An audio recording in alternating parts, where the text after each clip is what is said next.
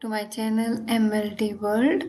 Today in this video our topic is liver function tests. Liver function tests are the group of blood tests because we are doing more than one test in this panel and that liver function test also called as liver panel also. Liver function tests are blood tests used to help diagnose and monitor liver disease or damage and the test measures the level of certain enzymes and proteins in our blood and these tests measures how well the liver is performing its normal pro- function of producing protein and clearing bilirubin and blood waste products. And other liver function tests measure enzymes that liver cell release in response to damage or disease. Liver function test includes total bilirubin, direct bilirubin, ALP alkaline phosphatase, SGPT that is also called as ALT, SGOT that is also called as AST, total protein, albumin and globulin and we will discuss each one by one. But before starting we will see that liver function test why need liver function test can be used to screen for liver infections such as hepatitis monitor the progression of a disease such as viral or alcoholic hepatitis and determine how well a treatment is working measure the severity of disease particularly scarring of the liver that is cirrhosis and monitor possible side effects of medication now we will discuss about the total bilirubin first of this panel that is bilirubin. Bilirubin is a substance produced during the normal breakdown of red blood cells and it is yellow color substance. As you know red blood cells have a normal 120 days period and after that they will lyse and they will release the bilirubin.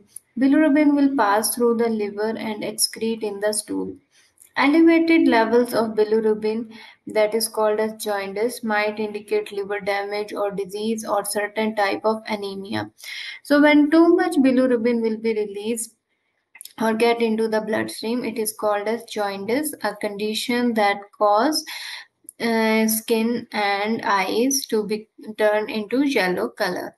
Normal bilirubin level is in milligram 0.1 to 1.2 milligram per dl and in millimole 1.71 to 20.5 millimole.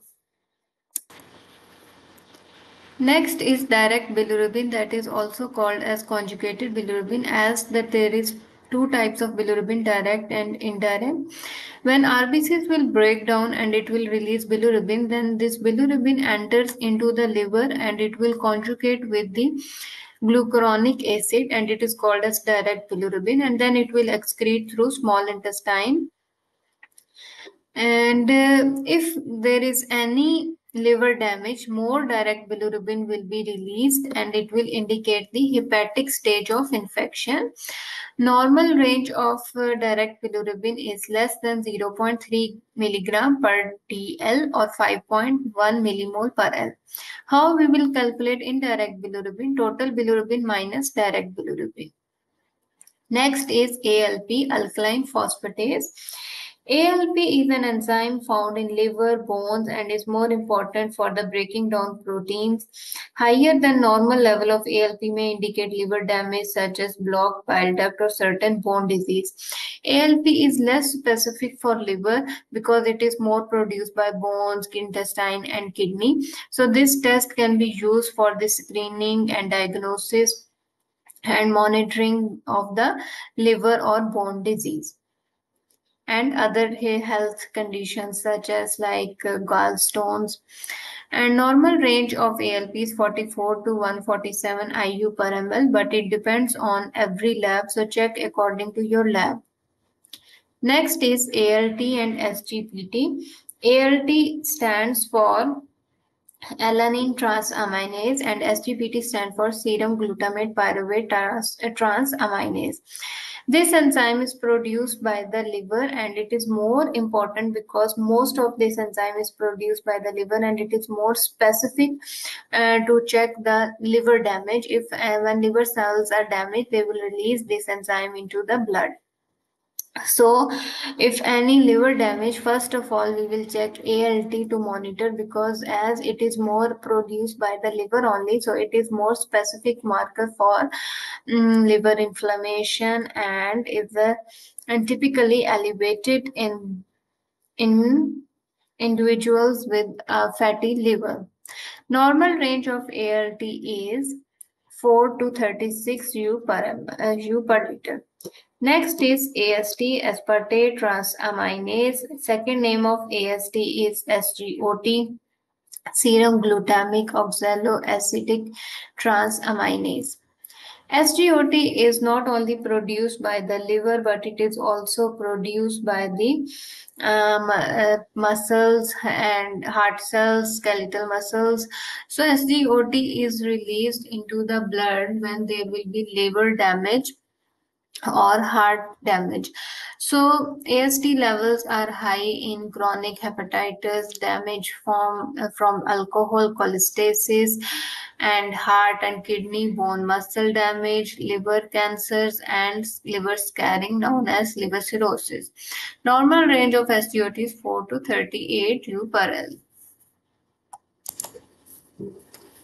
So as AST is re released by the or present in liver and heart cells also. So ALT is more specific than AST. Next is total protein.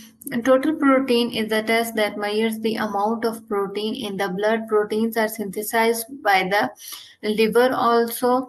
So proteins are, as you know, proteins are important for the health and growth of body cells and tissues. So total protein test can normal detect normal and abnormal protein levels which can help to diagnose the medical conditions such as kidney and liver diseases. If any liver disease, total protein level will decrease.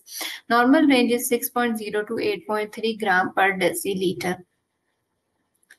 Next is albumin. Albumin is the major protein, the type of protein that is present in the blood and albumin test can check liver and kidney functions that they are doing perform well or not. Albumin is the protein that is produced by the liver and it is present in the blood serum or plasma and low levels of uh, albumin in, might be the result of kidney disease, liver disease, inflammation or infections and high albumin levels are the result of dehydration or severe diarrhea. Normal level of uh, albumin is 3.4 to 5.4 gram per dl and how we will calculate the globulin? Globulin we will calculate we have total protein we will minus the albumin. We will perform total protein and albumin test. So total protein minus albumin and we will get the globulin value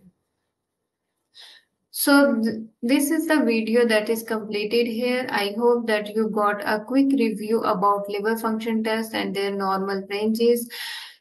So I will meet you in new video. If you like this video, do share with others also and do press the like button to appreciate also. Thank you so much.